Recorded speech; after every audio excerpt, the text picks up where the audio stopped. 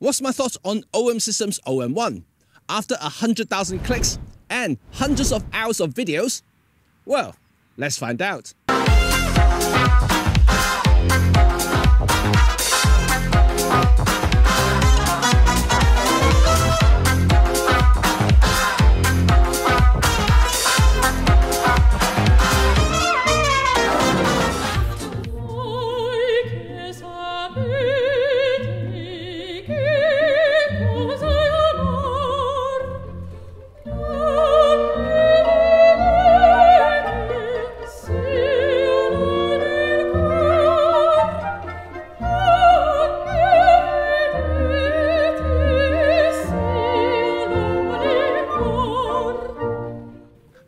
It's Jimmy Cheng here from Red 35.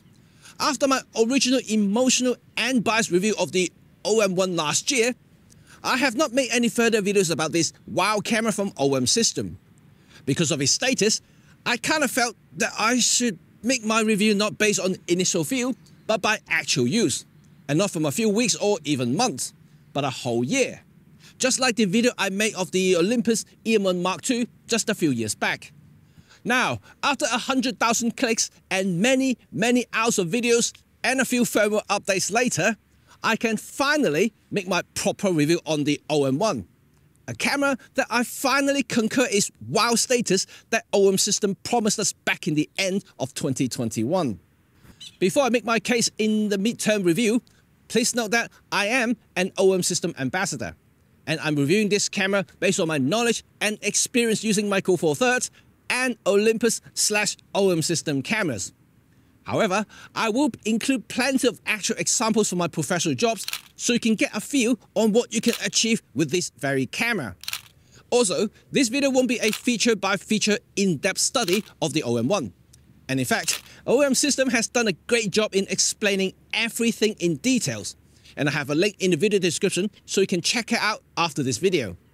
So, without further ado, Let's go.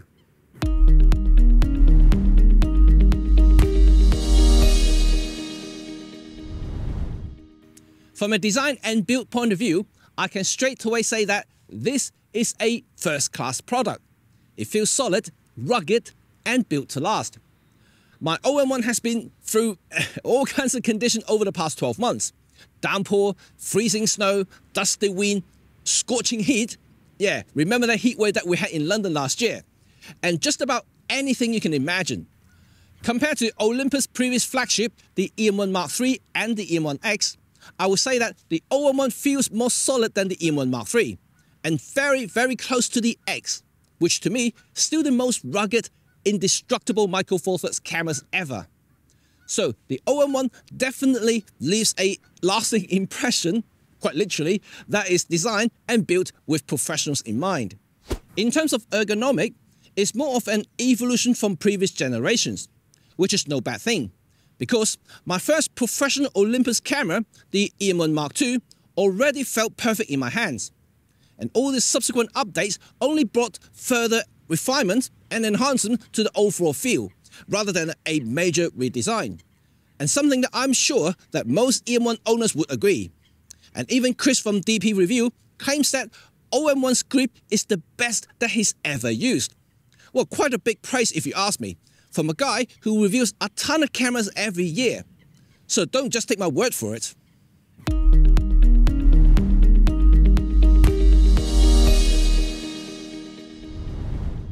Straight to the cream of this video is, of course, image quality. Just remember that I have never ever complained about image quality from any previous EM1 cameras. So you kind of know what I'm about to say. There is a noticeable improvement in retaining information from the new BSI sensor. I wouldn't say that it is something you can see straight away. But from someone who photographs on an upward of 100,000 photographs a year, I can tell you that the degree in massaging the files to the way I like, in terms of final presentation, is vastly improved, especially at high ISO range. This gives me a lot of headroom when it comes to tricky situations, or at time when I need to bump the ISO up for faster shutter speed to freeze action if needed. But one thing I must stress, that I'm glad to see OM system didn't alter the color profile on the OM1. one thing that attracted me to switch from Canon to Olympus instead of others was the colors. It's a personal thing, I know, and photographers can be quite picky at times. But I found Olympus and now OM Systems color profile to be natural and realistic, especially on skin tones. And this is a must for my line of work. And here are some portraits I've shot with my OM1 over the past year.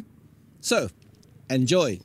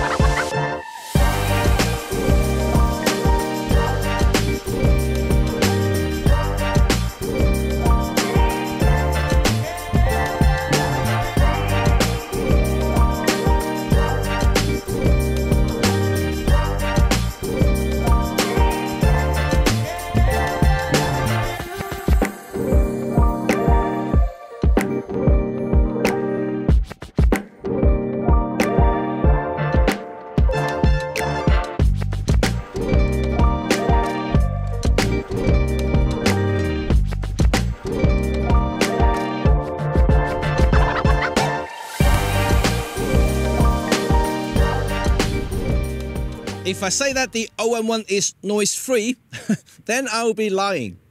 A photographer must be reasonable when it comes to managing his or her expectations. While there's an improvement in noise performance, it's not going to be crystal at ISO 3200. But it does mean that color noise is very well managed, resulting in much easier files to clean and better color reproduction in high ISO settings. Luminous noise level is similar to that of uh, EM1 Mark III and X, which means that you get a very organic noise pattern that resembles film grains in the old days. Better or worse, however, it's not up to me to tell you, but I've been using Olympus Micro Four Thirds cameras for all my professional jobs since 2016. And while I've used ISO 3200 and 6400 in some emergency cases, majority of my photographs were shot at much lower ISO settings. And this is a combination of understanding lights using faster lenses such as 1.2 and 2.8 Pro lenses, and that 7-stop crazy body stabilizations. So, while I can't say the OM1 can beat larger formats in noise war, I can say that it is comparable when you factor everything in. I did a separate video, and the link is up here, explaining the merits of Micro Four Thirds a couple of months ago, using an actual wedding as an example between full frame Sony a7 III and my OM1. And I would highly recommend you to watch that video to see why I made such a statement.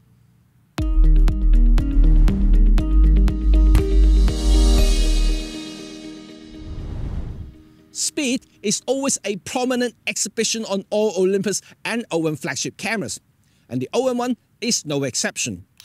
This thing is a speed demon. I won't count numbers, but the OM1 focuses lightning quick, with more than fast enough continuous burst speed in both mechanical and electronic shutter modes. The likelihood that you will miss a shot is pretty slim, though you may end up having a ton of photos to review as a result. Speaking of speed, being a new generation of BSI sensor means that the readout speed is exceptional, giving you much better viewing experience through either the back screen or the EVF together with almost roll-free panning in both viewing and recording.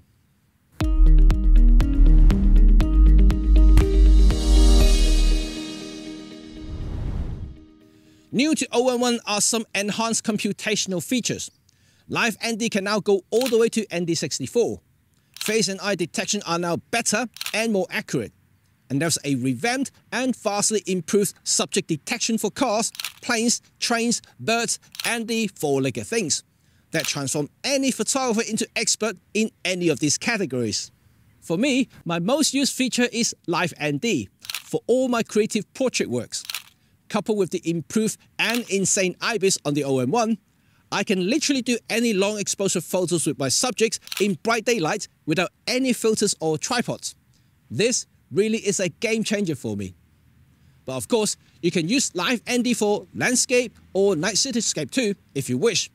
but while it's much improved than the last generation of cameras, I would still prefer to use physical filters for any extended long exposure photography. And all in all, OM1 has set a new boundary in computational photography.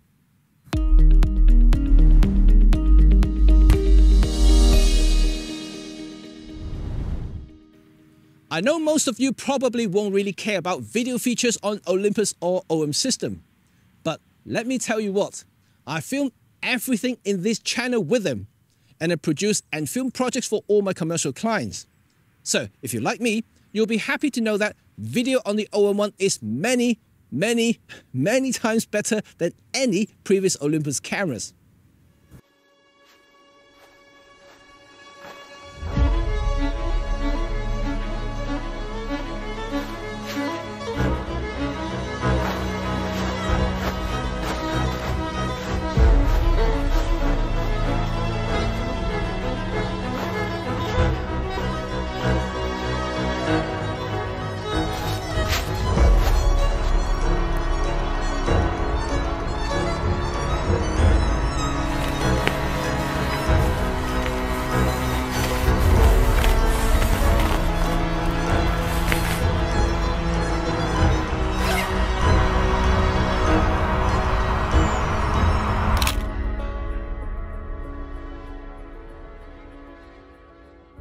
But I won't bother making a statement of 4K or 60p because many competitors have bigger numbers.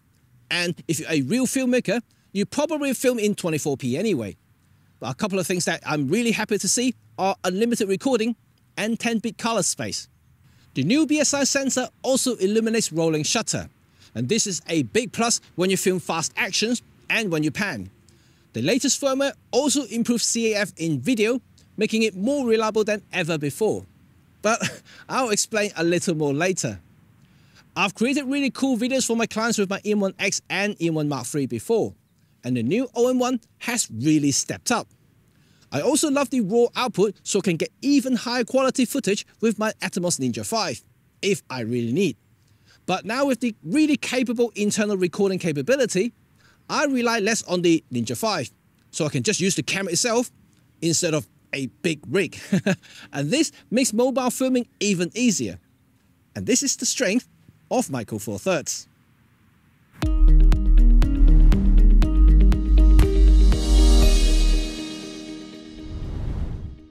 So, after a full year of using the OM1, do I still think it is the wow camera that OM system promised us? Heck yes. I personally think that it is the best high-end hybrid Micro Four Thirds cameras for photographers to date. While most new features are more evolutionary than revolutionaries, they're all welcome, and together makes the OM1 the most complete Micro Four Thirds cameras you can buy to date. It is really hard to quantify the improvements, but if you're upgrading from, let's say, the EM1 Mark II to OM1, you will be in for cultural shock. Less so if you're upgrading from, uh, let's say, the previous generation, the Mark III or the X because they are already very, very capable cameras. But, of course, there is always a but.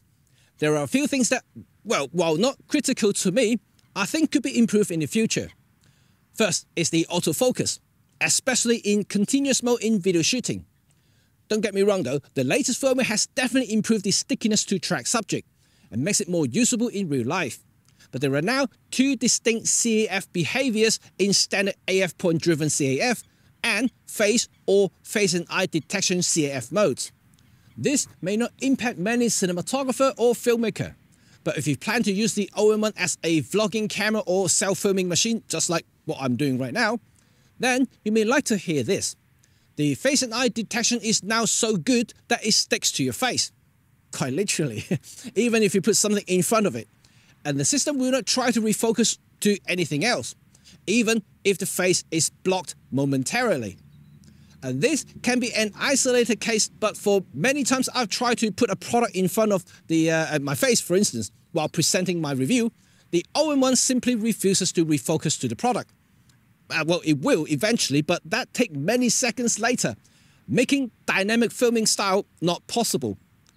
And this is something that the E1X does very well.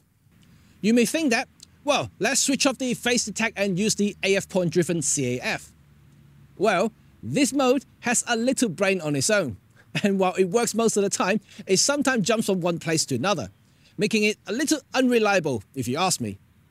I'm sure that this is a firmware issue and can be improved over time, as OM has demonstrated since the launch of the OM1 last year. And the executives in Japan already confirmed that the OM1 will be subjected to many firmware updates over time, which could also include new features, and that is something that I'm looking forward to see. However, there is one thing that firmware can't fix, and that is the buffer size. While I don't have any official buffer size figure to say, but if you do a lot of raw burst shooting, such as Pro Capture, you'll find that the buffer gets filled pretty quickly, even when using the fastest SD cards available.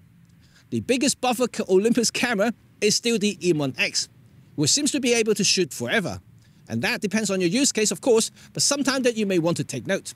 But like I said, it is not critical, it's just something I found over the course of last year. All in all though, the OM1 is the best Micro Four Third camera. A dream camera to use for sure. It is also my workhorse and I depend on it to make my vision comes true.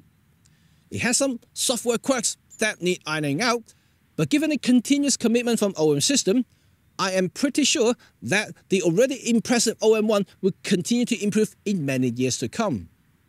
That's it folks, hope you enjoyed this video. And what's your experience on the OM1 if you own one? Do you plan to get one soon? And what's the potential new features that you want OM system to bring to the OM1 in the future firmware updates? And what's your Micro Four Third cameras you're using right now? Let's have a chat in the comment section below. And thanks again for watching and you know what to do now. Thumb if you like this video and sub if you want to stay in touch with all things photography, filmmaking, and of course, OM system. Peace.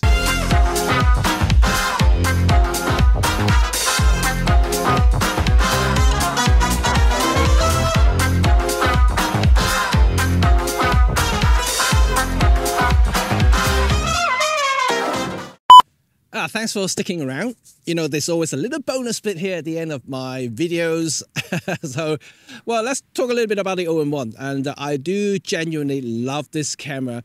The last time I felt really um, emotional uh, uh, uh with any Olympus slash OM cameras was the EM1 Mark II.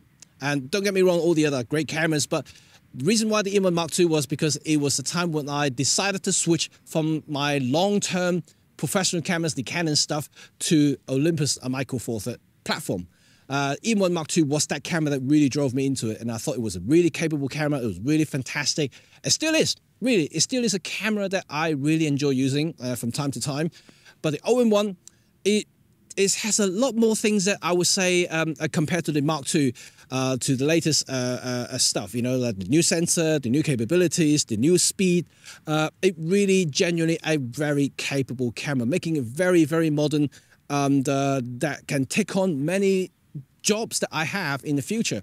so I love it. I love it. And not only that, you know, like you saw my emotional uh, first review video that I made last year uh, with my dad in it, and uh, because um, the OM1 also the name itself means a lot to me as well. And if you haven't seen that video, the link is up here. And uh, but yeah, it generally I just think that it is quite a camera, um, but don't forget that it is also has the Olympus name on it. And this will be the last time you see it. As you can see, the OM5 already have no Olympus name on the Prism. And this will be the last camera that ever featured the name Olympus on modern digital mirrorless cameras from this era on. And uh, so yeah, it is a quite a special camera. So if you haven't got one and you think of getting one, I think it's not, you know, uh, too late to get one before they replace this camera in a year or two time, you know, and uh, becoming the OM1 Mark II, whatever, you know, that is not going to have an Olympus name on it. So this will be that special camera forever. So yep, this is not going to going anywhere. I'm going to keep using this camera, keeping it, even though it retires from my professional jobs, it will still be the camera that I will keep and treasure forever.